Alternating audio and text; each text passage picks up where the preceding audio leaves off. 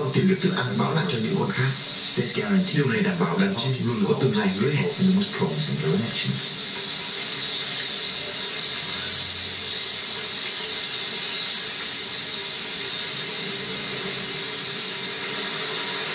Không may mắn cho những người nông dân trong kỳ Chúng thích ăn cây succulent, giống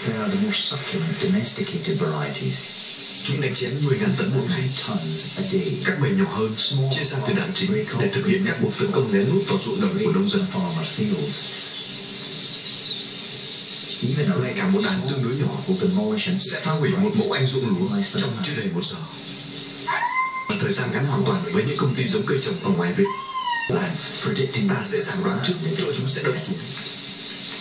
Với việc cuộc sống đang bị đe dọa, những người dân làng tạo ra một kiểu phát âm thanh của khiến bầy chim không thể đậu lại.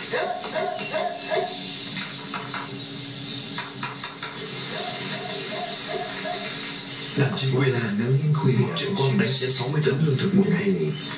Nhưng với việc liên tục di chuyển, ta không thể kiểm soát được chúng. control. Chỉ khi chúng đậu trên cây, những người nông dân mới được nghỉ ngơi. Cuối cùng, mình chỉ cũng phải dừng lại chuyến hành trình vô tận. Thời gian làm tổ là lúc dễ bị con được làm công việc They chính build the main work. dệt nên cái mớ lộn xộn này These intricate chúng làm tổ để thu hút các con cái khác attract different females.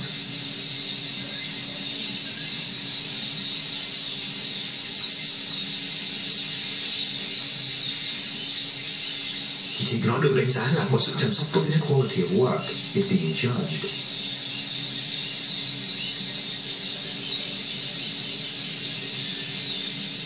Chỉ có cách tốt tốt nhất mới qua được bài kiểm tra nếu như con cái duyệt thì nó sẽ vào trong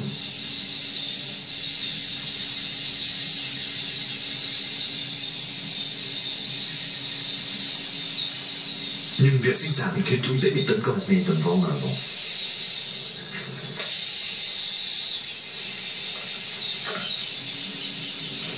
Mỗi vùng chiếm đóng gần 4 dặm vuông và có 300 ngàn con chim 300,000 tất cả đều sinh of một thế hệ mới của những kẻ phá hoại mùa màng.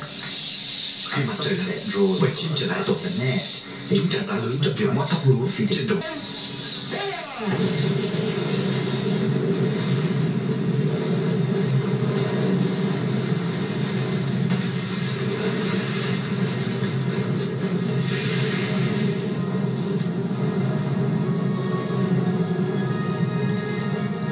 với loài chim đó là sự hủy diệt